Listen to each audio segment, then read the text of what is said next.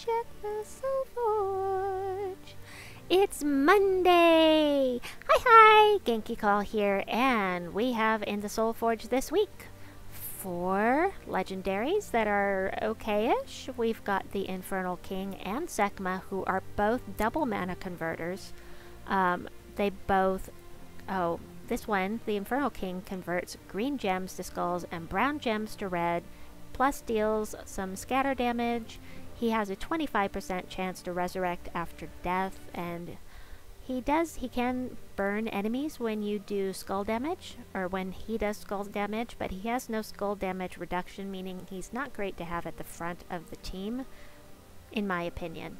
Um, also, we have Sekma, who transforms blue gems to skulls and brown gems to yellow, deals damage to an enemy boosted by all other allies' magic with a 2 to 1 ratio, and she gains 2 magic on red gem matches, so every time you match red gems, this purple number is going up, which is cool.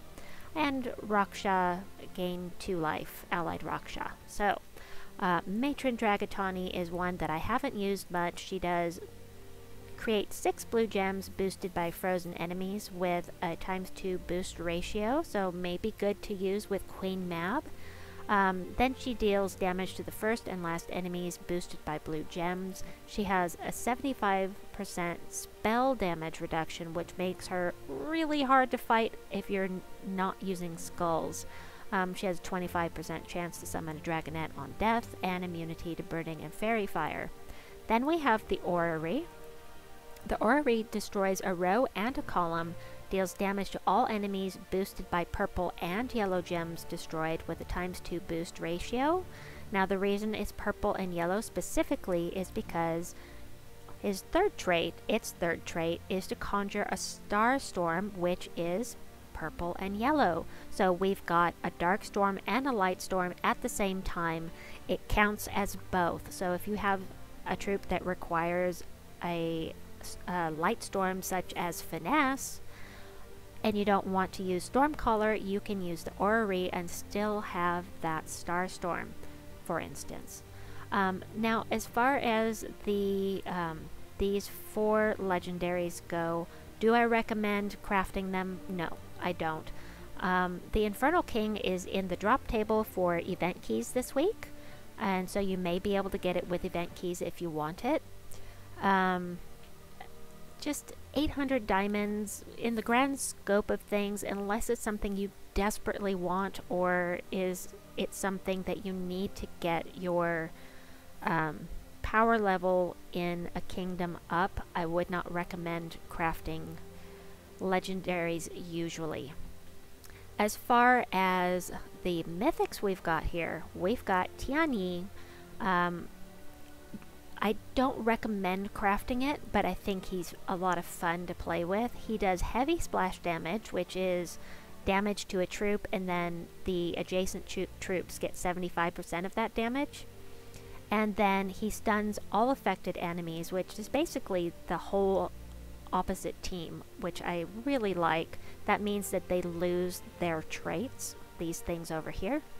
Um, deal double damage if my attack is greater. So that is where his strength lies, is if you can get a way to get his attack up, and I have a way to do that, then you are going to do double damage with this splash damage. Uh, damage.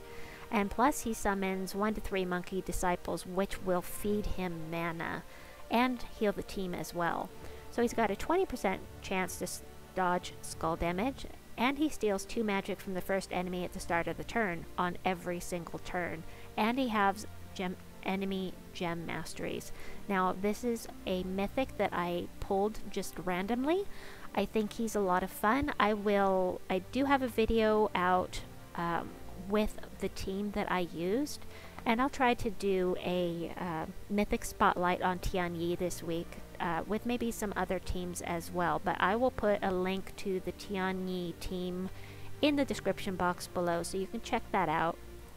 Then we've got Shahbanu Vespera, who is amazing with a triple finesse team. Actually, with a double finesse team, the Doomed Axe and Shahbanu Vespera, she is amazing. So what she's going to do is give um, give some magic, or actually give, I'm just going to say 16. For me, it's 16. 16 to a random skill on an ally, create 9 gems of their mana color, which is why you want to use only blue, only purple, or only yellow with her. Um, and then repeat two more times for random allies. So you cast on something, you get to choose which one is going to get the boost, and then she's going to do that two more times. And she could do it on herself, but usually it's going to be the other troops. I really have a lot of fun with her. These traits are absolutely terrible, except for immunity to death mark is nice. Um, but especially this, this uh, the gin summons is pretty useless. But anyway, I will. I've got plenty of videos showcasing Shahbanu with the finesse team. I'll see if I can find one to put in the description box until I can do a mythic spotlight on her. Uh, also, we have got Ishtara in here, and Ishtara does damage to all enemies, create 9 yellow gems boosted by blessed allies, and she has a 50% chance to bless a random ally when the turn begins, which of course makes this more powerful, more yellow gems. Also, she has skull damage reduction by 40%, and all allies gain 2 random skill points. Um, of the mythics that we have in here that can be crafted. There are only three this week. Um, so the rest of these are always here. Wait, no, Kurandara isn't always here. My bad. I didn't even notice Kurandara sitting here. I like Kurandara. So Kurandara was the first mythic we received from the very first campaign. If you bought that pass, you got Kurandara. I was one of those people that bought that first pass, and so I got this troop. So Kurandara is fun for a couple reasons to me. So deal damage to an enemy boosted by Doom Skulls, then convert yellow gems to Doom Skulls, and conjure a Doom Storm. So the thing I really like is converting yellow gems to Doom Skulls. That's what makes his spell powerful. As for his traits, he is really good to use with High King Iron Gut because there is a 50% chance to curse all enemies when matching 4 plus gems. So that makes it so that High King Iron Gut can devour things that are immune to to um, to devour, and also any positive status effects that your enemies might have go away as soon as they get cursed.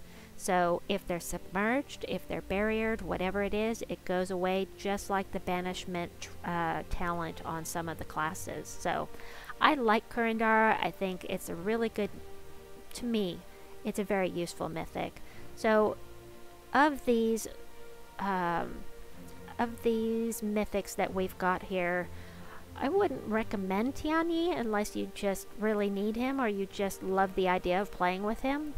Uh, Shahbanu, I find very useful. Kurandara, I use all the time with High King Iron Gut just for that third trait of his. And Ishtara, I've used a couple times. Ishtara is good for events, I've noticed. And I really need to play with her some more. I didn't get her when she was released. I managed to get her on a random drop later on. And so I haven't actually played with her much. Um, would I recommend any of these? It depends on your playstyle, really. Um, I enjoy... Uh, if I had to re recommend one, it would be either Shahbanu or Kurandara based upon what your goals are in the in the game. So if you're wanting to use the passive traits with Kurandara, if you love the idea of the Doom Skulls, or with Shahbanu if you want to have massively powerful finesse team. Um, also, there's another team as well, but I'll get to that in the Mythic Spotlight. Anyway, so as always, it's up to you what what your goals are, but 4,000 diamonds is a lot. They're very hard to get. Well, it takes a long time to accumulate 4,000 diamonds. So um, we have a new mythic cycle starting very soon within the next couple of weeks. So if there is a mythic that you really, really want, I would recommend saving your diamonds at this point. Nothing here is a must-have, Shahbanu's fun, Kurandara is useful, but there are other troops that can fill those needs if um, if you want an alternative, there are alternatives. As for weapons, I haven't looked at these yet. Uh, we've got the fire staff. Oh, it's one of these. So 75 diamonds is really cheap for a weapon. Um, damage to an enemy, deal double damage if there's a firestorm, and it creates a firestorm. So that's kind of cool. Uh, if you need a weapon for Blighted Lands, if you are blocked from going up a power level in Blighted Lands because of a weapon, 75 diamonds is pretty cheap in order to get that done. I'm actually going to consider this, maybe. I mean, I'd rather have my Firestorm from my class or perhaps from Tink Steam Whistle if needed, but um, for 75 diamonds, I will keep that in mind. There could be a use for it for me, maybe. Death Spire. 18 damage to all enemies boosted by enemy towers. Well, that's interesting. wonder what the upgrades are. Damage to all enemies, boosted by enemy towers. With a times 8 boost ratio? Ooh. Ooh. Wow, that's a lot of damage. What colors? Purple and brown. Oh gosh, I'm really low on diamonds. Well, I'm not low low, but I use them. I've been a little too free with my diamonds lately, but I am definitely going to keep this in mind, especially since Leona's Tower is a thing for PvP now. There could be more towers coming that users, we, we users can have on our teams, and that might make this weapon pretty useful. So I'm going to keep that one in my mind. Soul Reaper. Deal damage to an enemy boosted by Blighted Lands allies with a boost ratio of times 6, then create a mix of 6 red and purple gems for each Blighted Lands ally. Red and purple, so red and yellow I know we use a lot. Let's look at red and purple really quickly here. Blighted Lands, all kingdoms, doop doop doop, Blighted Lands. And then I said red and purple. So, Baphomet, Infernal King, Nocturnia. Do, do, do, do. Uh, or was it brown and purple? Was it brown and purple? Oh my goodness. My memory, I swear. I'm so sorry. Hold on. Let me look at that again. Whoops, weapons. Soul Reaper. Red and purple. Okay, so I'm not losing my mind. I'm so glad to hear that. Sorry. Red and purple. Blighted lands. Let's go back and see this again. So, there are a lot of troops that would benefit from this, but how often do I use Blighted Lands troops specifically? It would be good for the uh, underworld, for the faction of Fel Roost, I see. Nocturnia is awesome. Uh, I think, though, personally, I'm going to give this weapon a pass for now. I will grab it next time um, Blighted Lands comes around if I decide it's something I have to have. Right now, it's not. And I could get into the world event and say, hey, wait, that would be really useful. But right this second, it's not right this now. So, the Scythe of the Blight. Oh, it's another 75 diamond one. That's weird. Remove all red gems with no effect. Deal damage to an enemy boosted by gems removed. Okay uh, with a 3 to 1 ratio, so if you remove 9, it's only going to do 3 extra damage. If the enemies from Blighted Lands deal double damage. So this is one of the ones that puts me off because it removes gems with, or it removes gems with no effect except to boost the spell, and that kind of puts me off a little bit. It's a personal thing. It's just one of those things that makes me go, eh, eh, We've got the Doomed Staff in here, which I obviously have crafted previously. I think I actually got it when it was first released in the Tower event, the Tower of Doom event. Create four yellow gems, plus one per tempering level, give armor to all red allies, and if the enemy has a doom, eliminate all armor from the random enemy as usual. I can show you the upgrades for this since I already have it, but uh, create yellow gems. It's a red weapon. I don't know, you'd have to, well, I will look at it further. I've never used it. Let me grab my tributes real quickly here. Do, do, do. Troops, weapon, doomed, staff. Alright, attack, life, magic, attack, magic, gain 1 magic, deal 5 scatter damage, give 1 mana to all allies, create a firestorm, and drain 2 mana from red enemies. So it seems like something that would be good to use on red attack day for Guild Wars.